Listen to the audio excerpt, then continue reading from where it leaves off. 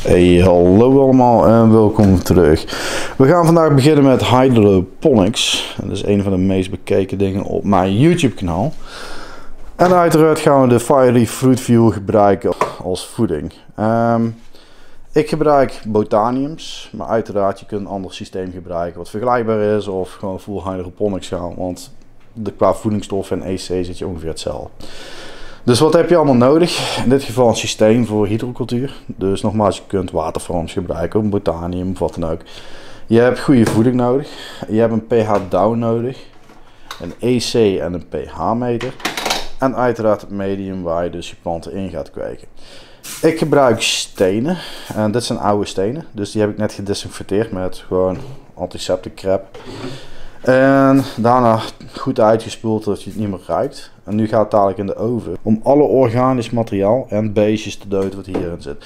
En ik ben de Purple Flash aan het ontkiemen. Um, dit zijn open bestoven zaden.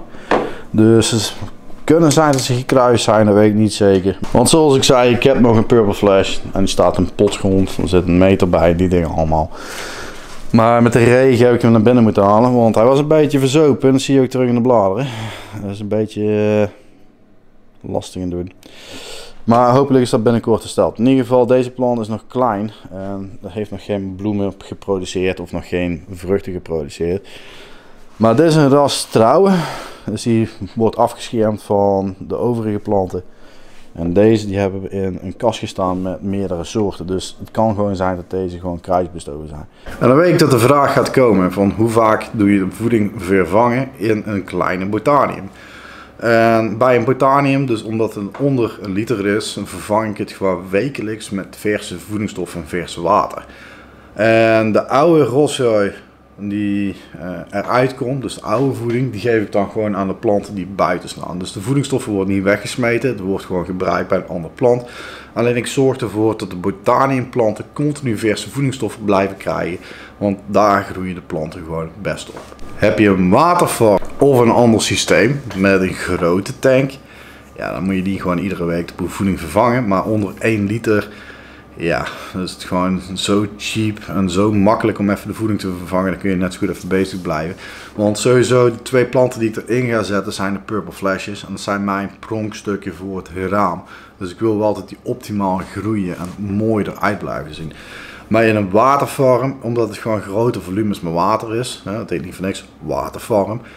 Ja, zolang je gewoon de EC en de pH op orde houdt en ervoor zorgt dat gewoon... Uh, optimaal in waardes blijft, dan kun je gewoon gerust drie weken met een tank doen en daarna gewoon een keertje goed vervangen. Dus dat je gewoon om twee of drie weken de tank pas gaat vervangen. Ook wil ik duidelijk zijn, dit is een hydroponic systeem en normaal gesproken bij alle vloeibare merken moet je van allerlei dingen aan toevoegen, zoals een kalmark en crap en die dingen allemaal. Omdat alles bij mij erin zit, wil ik het punt maken dat ik alleen maar dit ga gebruiken. Geen V-booster, geen root booster, geen PK1415, geen core enhancers, niks anders dan alleen de fuel, dus de A en de B. Ik zou mijn leven natuurlijk wel een stuk makkelijker kunnen maken door uh, supplementen eraan toe te voegen, zoals een V-booster of een root booster of een core enhancer of PK1415 of wat ook. Maar ik heb een complete NPK, dus het is niet nodig om andere dingen eraan toe te voegen. Dus dat is het voordeel van Fireleaf Fruit Fuel alles zit erin om een plant, in dit geval peperplanten, optimaal te kunnen laten groeien. Nou, de vulkaanstenen of whatever het zijn, zijn droog gebakken. Dus ze zijn op 180 graden geweest voor pakweg 45 minuten. De zaden zijn allemaal gezonken. Dus die zijn ook klaar om te zaaien. Deze apparaten hebben jets, dus je spuiten water in de stenen. Maar het probleem daarmee is dat ze uh, soms de zaadjes dieper in het medium forceren. En ja, dat schiet gewoon niet op. Maar als de te diep zitten, dus ongeveer zo diep, dan zul je nooit iets van een plantje zien. Dus wat ik ga doen is deze zaden allemaal even in een klein schaaltje zaaien. Uh, met wat steentjes, maar gewoon dat het niet diep is. En dan kunnen ze gewoon lekker ontkiemen op een normale manier. En als dat eenmaal gebeurd is, dan ja, zet ik ze over in de botaniums. Dus je ziet dat er behoorlijk wat druk achter zit. Dus als je zaden oppervlakkig leg je ze nou een stuk dieper. Dus het is altijd handig om de zaden eerst gewoon normaal te ontkiemen. Dat je in ieder geval twee blaadjes hebt. En daarna zet je gewoon botaniums pas aan. Nou, zoals ik zei, ik ga ze zaaien in een paar bakjes. Zoals je kunt zien, het is niet zo diep als deze bakken. Ehm, en ik gebruik de Purple Flash, dus ik moet ze sowieso een hoop zaaien om de beste uh, planten uit te halen. Want voor iedere twee of drie purple flesjes die ik zaai, zoek er eentje maar uit die als beste eruit komt. Uh, het heeft ermee te maken met de onstabiliteit van het soort. En het heeft ermee te maken tot ik planten op ga kweken in een botanium, in dat systeem. Dus als ik niet gewoon secuur ben en gewoon Jan en ga zaaien, zit ik daar met planten die of niet geen purple flash zijn, of dat ze gewoon slecht van kwaliteit zijn. En dan zit ik er gewoon een jaar naar te kijken. Dus dat wil ik niet. Dus vandaar dat ik dus gewoon purple flesjes, en of in ieder geval een hoop zaai. Met het idee van haal ik de beste eruit. En de overige die verkoop ik dan of geef ik weg. Of wat dan ook. Dus laten we hopen dat er voldoende uitkomen. Het volgende wat ik doe is hier een zakje overheen trekken. Uh, gewoon puur om de verdamping wat tegen te houden. Dat ik niet elke keer water hoef te geven. Want in het begin zal het niet heel hard groeien. Het zal misschien een paar weken duren voordat ze uitkomen. En voordat ik ze überhaupt in een botanium kan plaatsen. Maar dit is hoe ik het doe zaaien voor een botanium. Voor dit systeem. Voor ieder systeem is het net ietsjes anders, dus daar moet je wel rekening mee houden. Nou, zoals ik zei, ik heb het in een zakje gedaan. En de botaniums die staan hier. Ik laat ze gewoon even circuleren met water. Maar ja, ik ben van de drip systeem, want dit is in principe hydroponics, maar dan drip. Dit is mijn favoriete systeem. En dat heeft natuurlijk een reden. Deze ring, wat je hier ziet, die haalt het water van onder naar boven. Verdeelt het water over de bak. En het water kan gewoon door de wortels en de stenen druppelen. En dat gaat weer terug de reservoir. Maar dit systeem gaat maar één keer per dag aan. Uh, wanneer het boven de 25 is, twee keer per dag.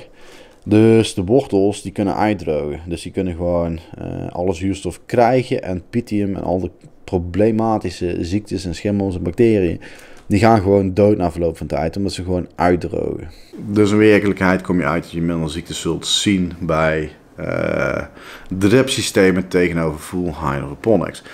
Dat gezegd, full hydroponics heeft ook zijn charmes. Alleen omdat het zwaartepunt van de plant bovenin de bak zit en het groeit in een netcupje.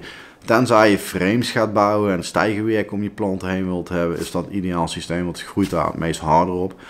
Maar als je gewoon een plant wilt hebben dat die vastgroeit in de stenen en gewoon op hydrocultuur gaat groeien, dus met volledige dosering en geen grond, zijn de botaniums en de waterfarms het meest ideaal. Waterfarms en botaniums zijn net zo duur, grappig genoeg. Eh, enige verschil is, een waterfarm kun je niet voor op je vensterbank zetten, dat is een beetje te grote oppervlakte. Botanium is meer design, dus voor de mensen die wat leuks willen hebben en gewoon voor het raam willen hebben staan. Maar dit is dus deel 1 van de hydroponic serie met Fiery Fruit Fuel en de Purple Flashes. En ik heb nog geen voedingsstoffen nodig, want er zijn nog geen planten, dus voedingsstoffen weggooien slaat natuurlijk nergens op. Over een aantal weken uh, zal er een update komen. Dan krijgen we deel 2. Dan zal ik de planten transplanteren naar de botaniums. En dan zullen we daar gewoon even wat voedingsstoffen aan toevoegen. Laat ik zien hoe dat werkt. En hoe we dat afzuren en meten en die dingen allemaal. Maar het wordt gewoon een hele leuke serie. Mensen kunnen het gewoon nadoen. Eventueel met een drain to waste. Of een recycling systeempje. Of een DTW systeem. Of een Kretki systeempje. Of als je al een waterfarm of botanium hebt. Je kunt allemaal meedoen. Eh, ik probeer het zo makkelijk mogelijk te houden. Uiteraard, zoals vaker, vergeet ik dingen te zeggen of vergeet ik uh, specifieke dingen toe te voegen. Um, het heeft met mijn ADD te maken. Dus als er vragen zijn, stel ze en zet ze hieronder neer. En dan zal ik die vragen bij de volgende video gewoon beantwoorden. Want uiteraard, ik vind het leuk als iedereen mee kan doen. En als vragen gewoon beantwoord kunnen worden, waarom niet. Dus dit was deel 1 van de Fiery Fruit View Hydroponics serie. Dus uh, tot de volgende keer.